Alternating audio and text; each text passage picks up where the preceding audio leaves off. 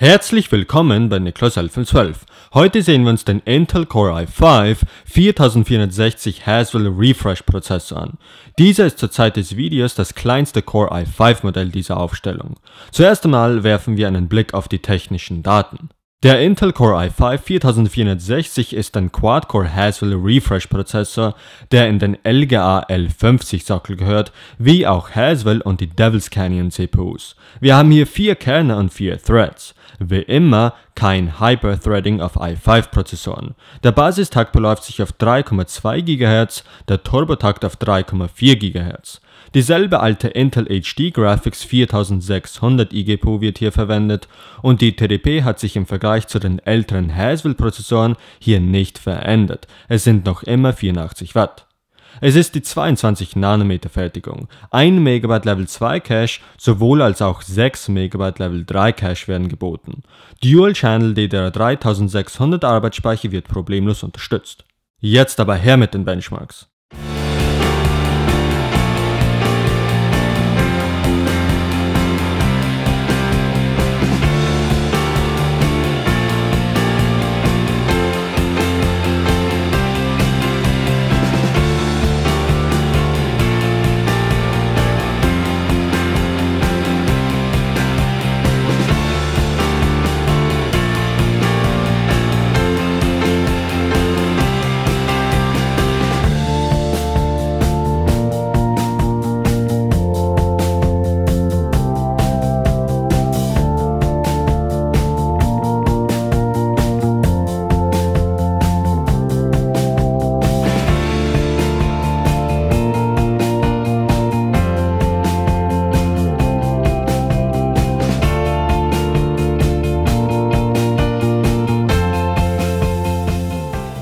Also ja, der Intel i5 4460 hat wirklich gute Leistung für den Preis zu bieten. Es sind jedoch ziemlich große Leistungsunterschiede merkbar, wenn man diesen i5 4460 mit dem i5 4690K vergleicht. Man könnte fast sagen, dass der i5 4460 der rechtmäßige Konkurrent des AMD FX 8350 Prozessors ist.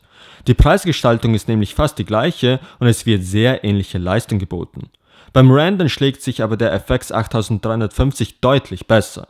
Wenn es aber um Spiele geht, schlagen die Intel CPUs, zumindest in dieser Preisregion, AMDs FX CPUs aber noch immer.